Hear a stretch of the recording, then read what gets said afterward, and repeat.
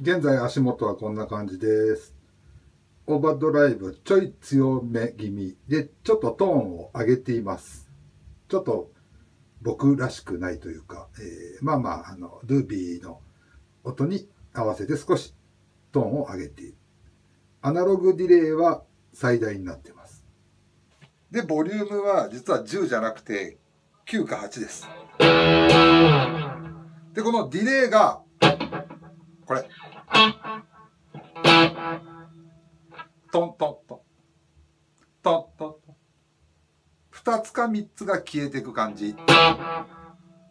まあ今二つぐらいしかなってなかったけど。実はちっちゃく三つ目もなってます。で、手を、ちょっとゆっくりで最後、あの、途中の音で止めると、こう、あ手は離さないわ。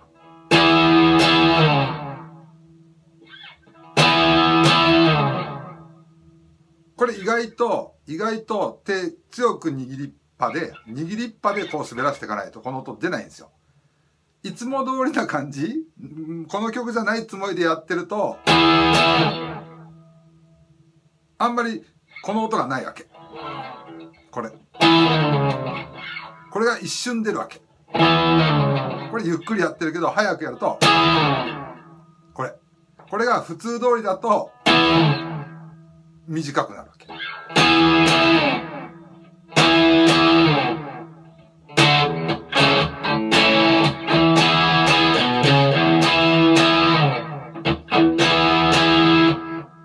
で、これの合間にちゃんとブラッシングで、こういうのがあって、ともすれば、6弦の開放音が、このタイミングで入る。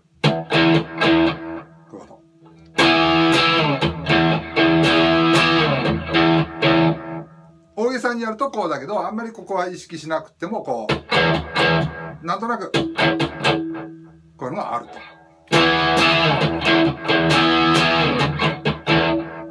大体でいいです、このブラッシングのところは。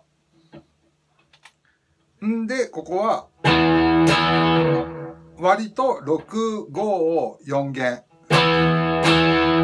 でも、一応3弦も鳴っちゃうと思われるので、押さえている E コード。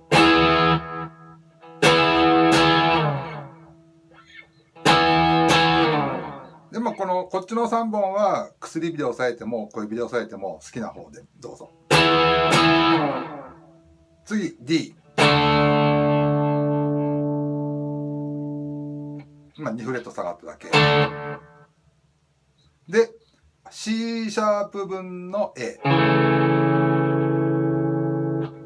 これは5弦が4フレット。4、3、2弦は2フレット。今度 A。C シャープ分の A。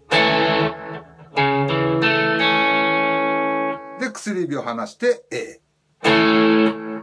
まあ、この時の A は5弦がでっかいってよりも、こっちの4弦3弦の方が大きい音になる感じの気持ちですよ。単なる気持ちですからね。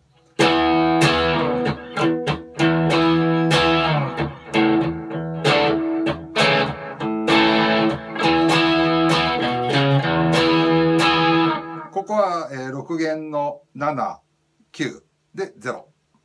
おじいちゃんって感じ。おじいちゃんな感じ。おじいちゃん。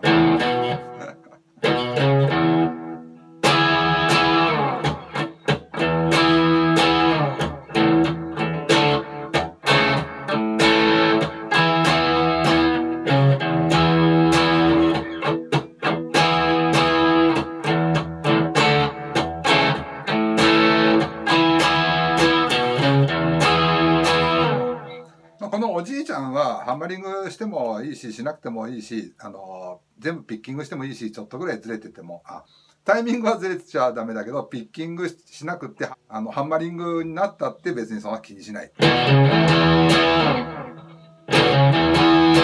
ハンマリングね。全部弾くとどっちにしてもおじいちゃん。すぐ、すぐ次のコード入んないといけないから、だとダメな。アップから入らないと全部弾くときは、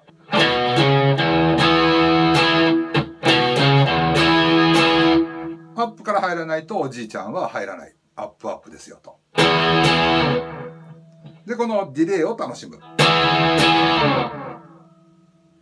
で、歌になったら実はディレイは切ってるっぽいんですけどね、こう。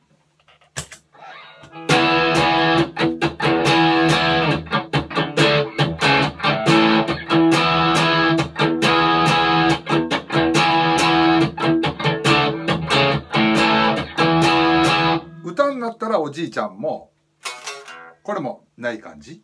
まあ、そんだけですよ。まあまあ、あの、あの、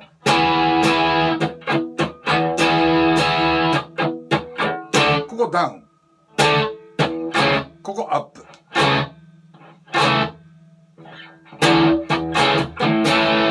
この C シャープ分の A だけアップになるわけですよ。まあ8ビートでダウンアップで右手が弾いてたらの話ね。全部ダウンで弾くことも可能は可能ですから。